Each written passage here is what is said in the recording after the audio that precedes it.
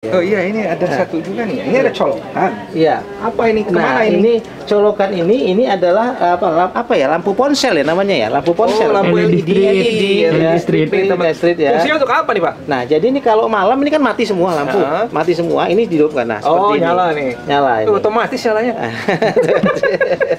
nah, jadi ini fungsinya adalah untuk apa tikus. Oh tikus Ah, takut sama ini ya? Iya, cahaya ya. Dia kan kurang nggak Oh. suka yang ada cahaya. Ya kan ini eh, cara saya saja. Hmm. Saya nggak tahu apakah berfungsi secara baik atau tidak, tapi yang jelas selama ini kan saya pakai lampu. Hmm. Dengan pakai ini saya rasa bisa ya sedikit mengurangi lah. Oh. wabah. Tikus nggak bisa kita larang kan di mana dia hidup Iya, kan iya, itu masalahnya. Tapi mungkin dengan lampu ini bisa kelihatan juga lah. Iya, tikus-tikusnya bisa kelihatan kan. Tikusnya malu kalau sini kelihatan dia karena ada lampunya. Nah ini dia. Jadi sebenarnya ini aja sih Oh, sebenarnya. Betul, betul, betul. Sangat menarik. Iya, jadi kita improvisasi aja, Iya. Pak Fajar. Jadi gimana yang bisa kita buat ya, yang ada bagus, ya bisa cocok, mengurangi resiko-risiko kematian dan sebagainya.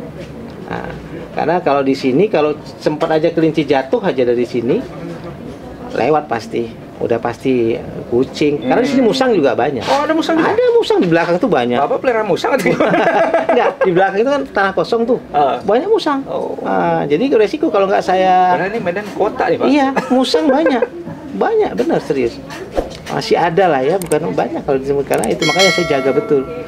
Makanya saya ya cari buat inilah. Nah ini juga nih Pak. Iya. Ini, ini apa ini sebenarnya? Nah, inilah ya. Jadi sebenarnya kan orang kalau kita beli kelinci kan kita pengen tahu nih eh, kelinci ini sudah udah kawin kah gitu kan Eh, sudah ah, sudah lahirnya kapan di sapinya kapan biar tahu ini kan kalau dia nanti ini kan udah kawin tanggal 23 Kawin 23. 23 bulan 10 dia insya Allah akan lahir berarti 23 bulan 12 sudah lepas sapi kan Oh, jadi memang betul-betul di sini teman-teman ya. dua bulan eh, saya baru di- bisa Ini kan apa? Ditulis Iya, lah ya. dicatat lah dia. dia Jadi nggak kira-kira ini umur berapa? Ah kira-kira tiga bulan. Padahal belum. Kita Belum. juga nggak tahu. Iya, di sini fungsinya di sini. sini ada buktinya kawinnya Iya. tanggal sekian, nanti lahirnya kan perkiraan tanggal sekian. Tanggal ya. sekian. Oh, di sini berarti harus sapi sekian, tanggal ya, sekian. sekian. Nah, Betul teman-teman. Nah ini untuk eh, apa manajemen dari kawin juga ya? Iya. Manajemen kandang lah ya. Iya, supaya kandang. kandangnya itu kelincinya nanti betul-betul pada saat jual itu siap siap jual. siap ya. jual. Siap Nggak, jual. nggak di karang-karang ya. Ya, nggak nggak baru satu bulan udah dijual Ya, gitu ya. kan beresiko, Beresiko. kan. Kasihan yang beresiko belinya. ya apa kita menjolimi binatang Iya. menjuali binatang jangan menjuali penjual Iya, yang belinya betul, gitu, betul. ya kan? Itu yang saya nggak mau, makanya saya buat. Biar tahu nih ini. ini. Makanya saya buat uh, tulisan gini nih, tulisan tulisannya gini ya. Jadi jadi nanti kalau yang nanya apa yang jual, eh, yang beli, Ya, saya tahu udah tahu. Oh, ini Ini dulu. ini. Asal jangan salah nyimpen. Iya, insya Allah gitu lah. Nah, teman-teman, eh, sudah banyak kita dapat ilmu dari Pak Napril selaku pemilik peternakan ibis rabbit di Medan. Teman-teman yang buat mau datang ke sini, mau beli kelinci, mau beli Belajar apa, dong, nggak hanya beli lah, hanya beli lah, ya. belajar mau apa Kita- silahkan.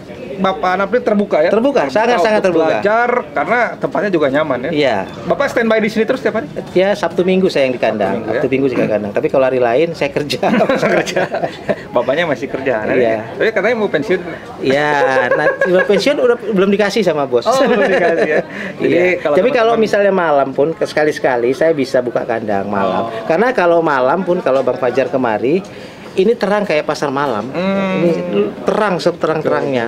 Karena lingkungan terang, udah itu saya kasih lampu semuanya jadi terang. Sekali-sekali ya, tapi asal dikonfirmasi dulu ya, Pak, saya mau dan oh boleh. Jangan tiba-tiba jam 12 Pak saya datang.